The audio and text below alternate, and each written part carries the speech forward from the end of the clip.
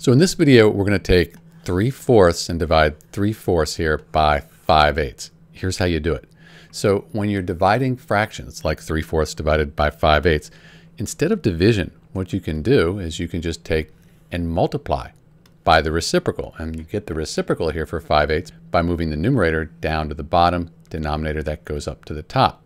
So now it's a lot easier because when we multiply fractions, we multiply the numerators. 3 times 8, that equals 24, and then we multiply the denominators. 4 times 5 is 20. So we end up with 24 twentieths. And we can simplify that down further. Let's see, they're both even numbers, so let's just divide them both by 2. That gives us 24 divided by 2 is 12.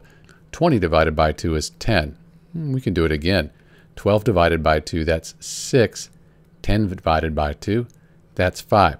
So we can say 3 fourths times 8 fifths, or 3 fourths divided by 5 eighths, that gives us 6 fifths. This is an improper fraction because the numerator, it's larger than the denominator, but 5 goes into 6 one time. 1 times 5 is 5. That would leave us with 1 left over. Bring the 5 across. We get 1 and 1 fifth. So 3 fourths divided by 5 eighths, that gives us 1 and 1 fifth as a mixed number.